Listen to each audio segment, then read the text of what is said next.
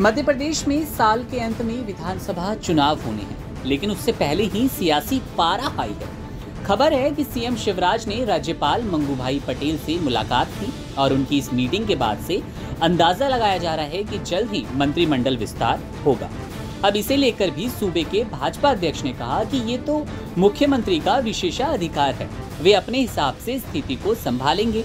बता दें कि भले ही अभी चुनावी तारीखों का ऐलान नहीं हुआ लेकिन सियासी पारा आसमान चढ़ रहा है। वो भाजपा हो या विपक्ष, तमाम कोशिशों में जुटा है कि अधिक से अधिक जन समर्थन उनके पक्ष में हो। इसी क्रम में तमाम योजनाओं और आयोजनों पर लाखों करोड़ों का खर्च किया जा रहा है। अब बेशक विधानसभा चुनाव की तारीखों का ऐलान ना हुआ हो, लेकिन चुनावी मूड में रहने वाली बीजेपी एक बार फिर से कांग्रेस को पीछे छोड़ते हुए अपने उम्मीदवारों की पहले लिस्ट जारी कर चुकी है। इतना ही नहीं, पार्टी ने 20 साल की सरकार की रिपोर्ट कार्ड, जो कहते हैं हम, रिपोर्ट भी जारी की।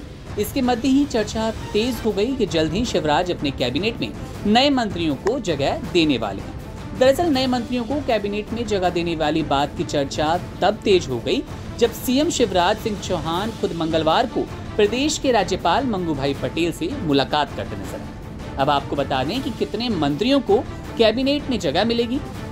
तो जानकारी ऐसी है कि मध्य प्रदेश सरकार में अभी 30 मंत्री है, पाँच मंत्री और बनाए जा सकते हैं। जब सीएम शिवराज ने सूबे के राज्यपाल से मुलाकात की तो तस्वीर कुछ साफ़ होती नज़र आई।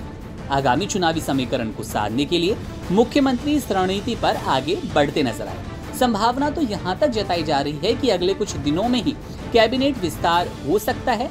मंत्रिमंडल विस्तार को लेकर प्रदेश के भाजपा प्रमुख का कहना है कि ये कोई नई बात नहीं है। कैबिनेट विस्तार मुख्यमंत्री का विशेषाधिकार होता है। इस पर वे कभी भी, कहीं भी फैसला ले सकते हैं। और अगर ऐसा कोई निर्णय चल रहा है तो जल्द ही फैसला सामने आएगा। अब सूबे के भाजपा प्रमुख अगर ऐसा बयान दें तो स्थिति तो आप समझ ही पा रहे होंगे कि जल्द ही कोई बड़ा बदलाव होने वाला है, बड़ा कुछ नाम आने वाला है मंत्रिमंडल में।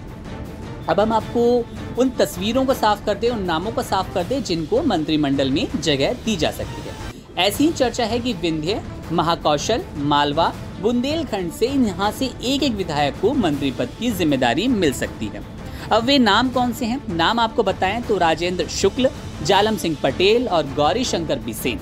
ऐसा कहा जा रहा है कि राजेंद्र शुक्ल को मंत्री बनाकर विंध्य क्षेत्र में पार्टी अपनी स्थिति को और मज़बूत करना चाह रही है। वहीं जालम सिंह पटेल को बुंदेलखंड और गौरी शंकर बिसेन को पार्टी जो है महाकौशल क्षेत्र के लिए लाना चाहती है, वहाँ पर अपनी मजबूती साबित करना चाहती है। बहरहाल, मध्य प्रदेश की राजनीति पर हमारी नज़र है।